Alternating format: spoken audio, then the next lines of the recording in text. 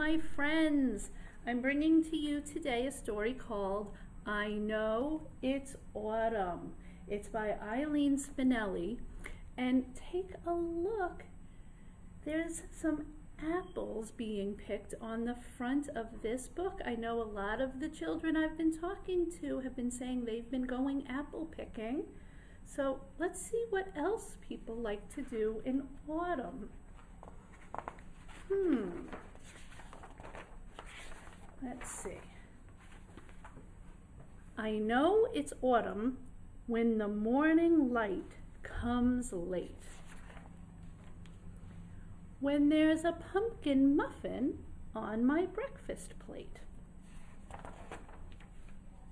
When Daddy brings my jacket from the storage box and Grandpa wears a bathrobe, bathrobe and his slipper socks. I know it's autumn when the school bus toots its horn when we drive past an empty field that once grew corn.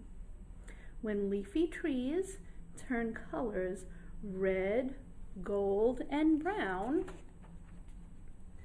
and Farmer Freddie brings his harvest into town.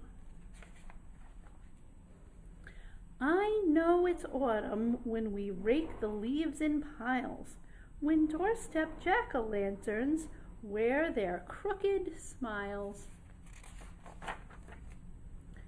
When we go apple picking for mom's apple pie. And noisy geese fly south across the evening sky. There they are. You can see they make a letter V up in the sky.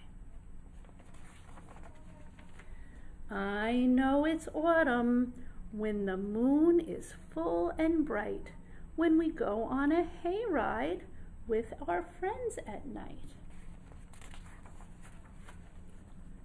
When bonfires blaze and the storyteller leaps and claps and all the kids grow sleepy on their daddy's laps.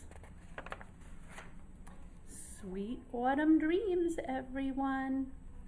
The end. So, did it look like this book takes place in New York City? Let me take a peek. Hmm.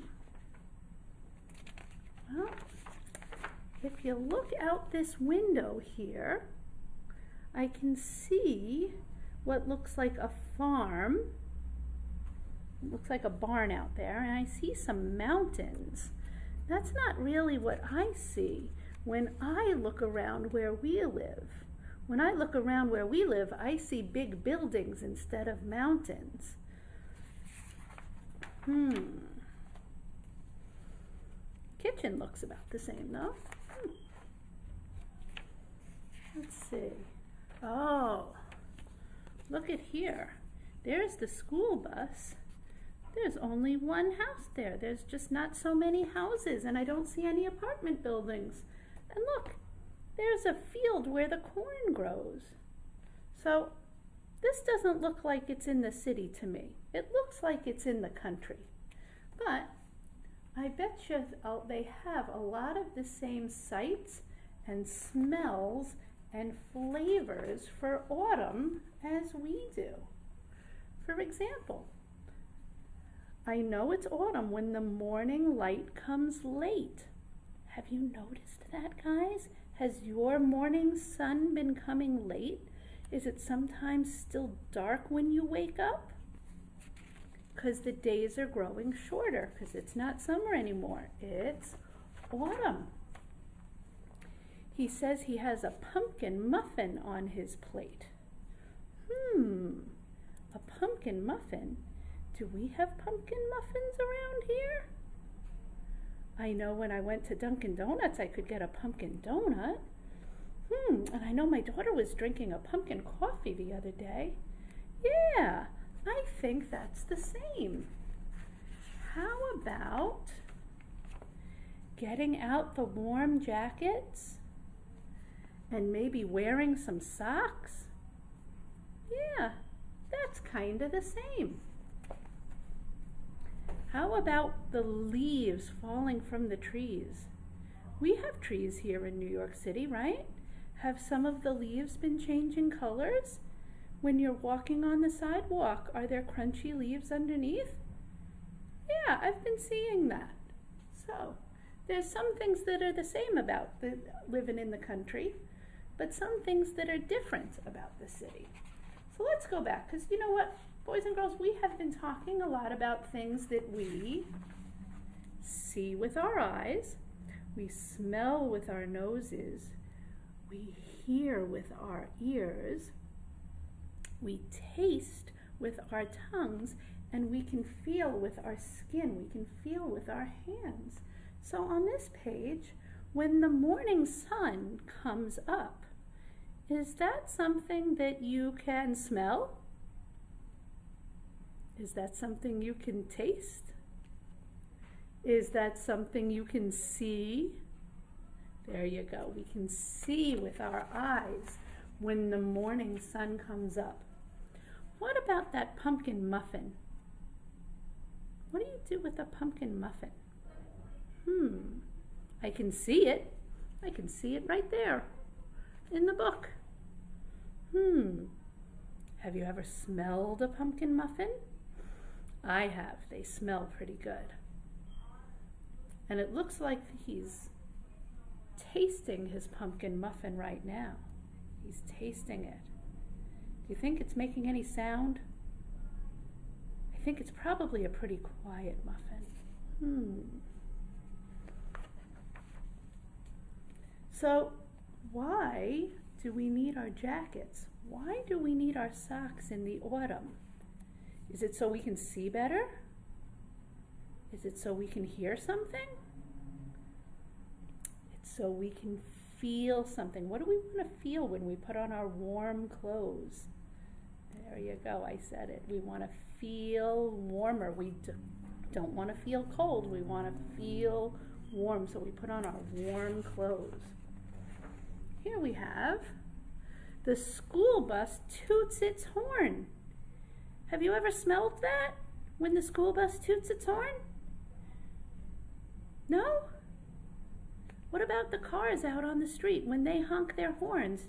You don't smell that?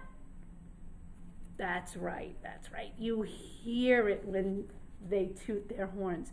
You hear it with their with your ears. And over here, the leafy trees turn red and gold and brown.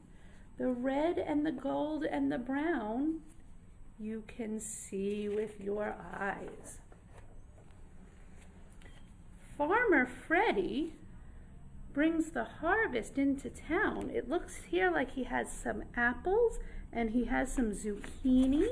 I thought I saw some corn there. Well, maybe I imagined the corn. So those apples and those zucchini, are these children going to take those home and just smell them? They'll probably taste them. They'll smell them with their noses, but they'll also taste them. I wonder if that apple, do you think it might make a sound that they can hear with their ears? The apple might be a little crunchy just like those autumn leaves. We can see the leaves turning color, but when we step on them, we can hear the crunch, and we can feel the crunch a little bit too. We can hear and feel that crunching. Oh, they're picking those apples for that apple pie. I wonder do you think they might make their apple pie taste a little bit sweet? Maybe they'll add a little sugar to it, make it taste very sweet. Oh, there go those geese flying by. Do you know what sound the geese make? The geese make a honking sound, just like that school bus before. It really does. It sounds like honk, honk. That's what geese sound like when they make their noises. Oh, I know it's autumn when the moon is full and bright. We can't smell the moon, We can't taste the moon, but we can see it way up high in the sky. How about this bonfire? They're having a campfire. That's a nice thing to do if you can. Do you, how do you think that fire feels? Yeah, you can't touch the fire because it's very hot. It feels very hot. But if you sit near the fire, if you sit near the fire, it's kind of warm. It's kind of cozy. And it smells kind of nice too. And it looks like they're all listening to somebody who's singing a song and telling a story and clapping hands. They're listening. Oh, this little guy's clapping his hands too. And then, when they get very tired, the children get all wrapped up in a blanket, cozy and warm, and they feel so warm and sleepy. All right, so that's a lot of things to see and hear and feel and taste and smell in the autumn. I wonder if there's anything that we can see or taste or smell or feel or listen to here in New York City that wasn't in the book. I hope you guys will leave a little something in the comments for me so I can see that. All righty. Thanks for listening.